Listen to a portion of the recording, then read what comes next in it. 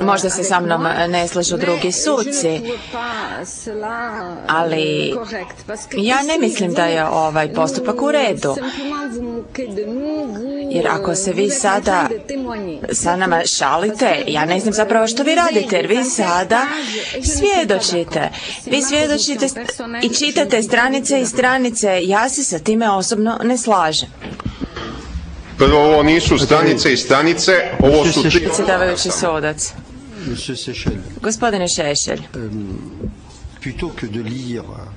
umjesto da čitate stranice i stranice,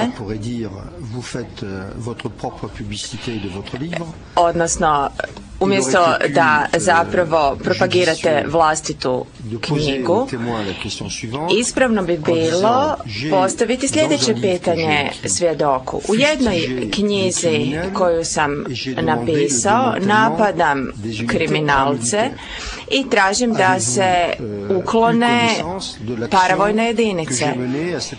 Da li vi znate kakva je moja bila moja reakcija u vezi s tim pitanjem?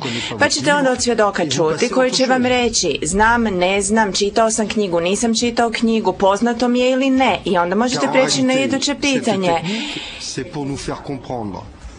Jer que vous avez euh, pris des positions publiques vi ovime zapravo želite pokazati da ste vi u javnosti zauzeli stav protiv kriminalnih dijela, protiv e, određenih stvari koje su se radile pod krinkom politike, a da je zapravo riječ bila o kriminalcima.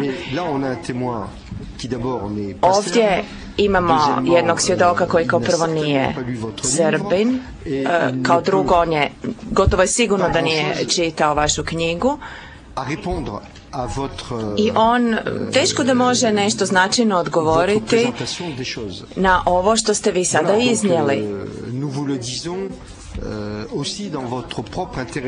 Dakle, mi vam ovo govorimo u vašem vlastitom interesu. Mi ne želimo spriječiti da se vi branite, ali u vašem je interesu ovo što kažem. Svo ovo vrijeme koje ste sada potrošili mogli ste sažeti u nekoliko rečenica i postaviti pitanje. Dajem vam ponovno riječ. Prvo, ova knjiga je autentični dokument iz 92. godine. Dokument za koji ja smatram tužilaštvu i ne pada na pamet da ga dovede u sumnju. Drugo, iz cele knjige ja čitam samo tri pasusa i počeo sam da čitam treći. I na osnovu toga ja želim svedoku da postavim nekoliko pitanja i efektno završim svoje unakresno ispitivanje. A vama to smeta. Ja mislim da je ova knjiga i za vas ubedljiv dokaz i ubedljivo svedočanstvo. A pitanja tek slede. Sve dok nije čitao knjigu, ali niste je ni vi čitali, a izgleda da je ni tužlaštvo nije čitalo. Prema tome, ova tri pasusa su morala da se pročitaju. Ako pročitate celu knjigu, vidjet ćete još veći broj sličnih primjera. Ali ovdje se slučajno sve odnosi, sve povodom hapšenja paravojnih bandi uz vojniku. I niste ni bili spremni da dočekate da postavim pitanje. Ako mi dozvolite da nastavim, pa da pitanja uslede posle toga. Izvolite, možete nastaviti, postaviti svoje pitanje. Ja moram pročitati ovaj treći pasus, jer bez njega ja nemam pitanja. I to tri minuta strpljenja, ja mislim da za vas više nije potrebno. Ja očekujem ta tri minuta strpljenja Il vous reste 15 euh, minutes. Na raspolaganju vam je još ostalo 15 minuta. E, dobro. Ja smatram da Srbi treba da hapse ako je neko pljačkao u ratu, ako je neko ubijao civile, ako je neko šikanirao civile. Mi Srbi smo uvek imali vitešku vojsku, koja se sa neprijateljem borila kao sa neprijateljem na vojnom polju ali se nikada nije isticala junaštvom nad ženama, decom, nad civilima, bilo koje nacionalnosti. I ja smatram da je dobro uradila vlada Srpske republike Bosne i Hercegovine što je počela da zavodi red na svojoj teritoriji. Uostalom, te razbojničke bande su pokušavale da preuzmu vlast u zvoniku. I do toga je dolazilo. Niko im ništa nije mogao. Nekada dođete vrlo lako i u situaciju. Do sada toga nije bilo, ali moglo bi se desiti. Molim malo polakše. Da te razbojničke bande negde prekrše primirje, ako se ono uspostavi, insceniraju sukob, ako ne možete imati pod kontrolom neku vojnu formaciju na svojoj teritoriji, onda ste jednostavno izgubili. Izgubili ste bitku. Disciplina se mora poštovati i autoritet vlasti se mora poštovati. Znate, ako je uspostavljena srpska vlast, onda sve formacije moraju da odgovaraju i da slušaju tu srpsku vlast, da izvršavaju njene naloge. Ako to neko ne čini, onda predstavlja smetnju toj srpskoj vlasti. A naročito u slučajima kada nisu pljačkali muslimane i Hrvate, nego prevashodno Srbe koji se nalaze na njihovim teritorijama. Da bi opljačkali Hrvate i muslimane, morali bi da se prebace, morali bi se prebaciti na njihovu teritoriju. U principu su svi velike kukavice. Oni nisu za to raspoloženi. I tada uzmu ono što im je najbliže rukama. Oni tamo dejstvuju. Raznu imovinu su prenosili ovamo. Gospodine VS 1013, je li vama poznata ova situacija? Da je u zvoniku prvo bila pljačka nad muslimanima, a kad je nestalo muslimanske imovine, da su krenuli na srpsku imovinu. Nešto ste o tome i govorili, je li tako? Ta situacija mi je poznata, navio sam jučer na mom izlaganju. Dešavalo se da piše velikim slovima Srpska kuća, da se pozvani na vrata, to je radio Toro, i kad se niko ne javi, ono da nama kaže razvaljuj, uđe unutra i par stvari koje mu se najviše svide, morali smo na kamion da utovarimo. Je li vama poznato da su se u proleče 1992. pojavljivale velike grupe srpskih izbeglica iz Tuzle, Živinica, čak i Kladnja, Srebrenika i drugih mesta u centralnoj Bosni? A, poznato nam jer smo, dok smo tovarali po zvorniku, često su dolazili ljudi i birali te kuće pa su pokušali da nas otjeraju da tovarimo ispred ili iza tih kuća govoreći da je to sad njihovo jer su oni to zaposjeli. A oni su napustili svoju imovinu koju su imali i u Tuzli, i u Kladnju i ostalim mestima, je li tako? Vjerovatno. I oni su sad tražili utočište, tražili su napuštene muslimanske kuće i želeli su i da ostane nameštaj u tim kućama. A ove bande ni to nisu dozvoljavale, nego su otimale nameštaj, opremu i sve ostalo, je li tako? Tu se slažem sa vama.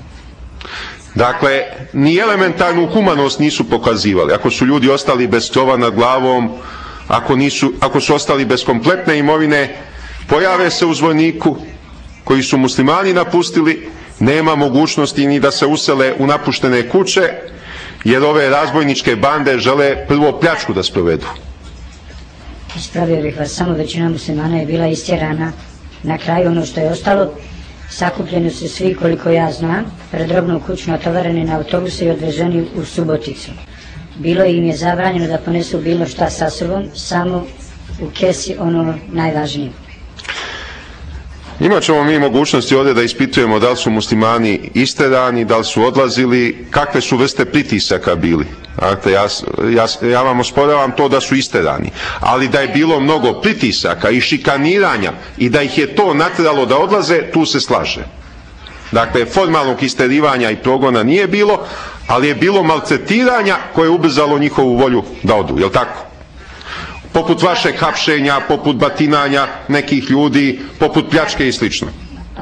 radi se o sljedećem, znači onoliko koliko sam ja ću vam reći ono što znam što sam čuo, što su mi ljudi pričali, da su ljudi koji su se naj, najduže zadržavali u zvorniku, da su otprilike a, negdje polovinom jula sakupljeni bili ispred drobne kuće, to su oni meni pričali, znači ja to nisam vidio, ne mogu reći znači da je 100% prenosim informaciju koju ja imam, da me ne bi se posle uzeli da sam rekao ovako ili onako, a, rekli su mi da su ih sve skupili pred robnu kuću, natovarili za autobuse i da su ih ti autobuse odvezli u Suboticu. A neki od njih su davali izjave da su oni tražili da budu odveženi u Srbiju i preko Srbije da traže izlaz u inostranstvo. A, neću vas negirati da su i neki tražili jer znam da je ova grupa koja je meni pričala, znači njih ne znam koliko ih je bilo, da su skupljeni ispred robne kuće i da su potrpani u autobuse i odveženi. Da li su neki prije toga tražili i poklanjali sve e, srpskoj opštini Zvornik ili čuo sam i tih slučajeva da je bilo, znači ne osporavam tu vašu tvrdnju, ali od ove zadnje grupe sam čuo tako. A još me jedna stvar interesuje, da li je bilo slučajeva da Srbi koji su već izbegli iz Tuzle slow down. Sudac Harhov, gospodine Šešelj, molim vas da usporite i molim vas da radite pauzu između pitanja i odgovora, isto vrijedi i za svjedoka. Zahvaljujem, izvolite. Pošto mi je ostalo još svega nekoliko minuta, pokušavam bar još na dva pitanja da dobijem odgovor od ovoga svjedoka, ali usporit ću. Da li je bilo slučajeva prema vašim saznanjima da se Srbi koji su već izbegli iz Tuzle, Kalesije, e, Živinica, Kladnja i drugih mesta, da ih sve ne nabrajam, koji su već tamo ojađeni na neki način, maltretirani, neki i pretučeni, bilo je i tamo ubistava i tako dalje. Da li je bilo slučajeva da se oni osvetnički ponašaju prema zatečenom muslimanskom stanovništvu u Zvojniku?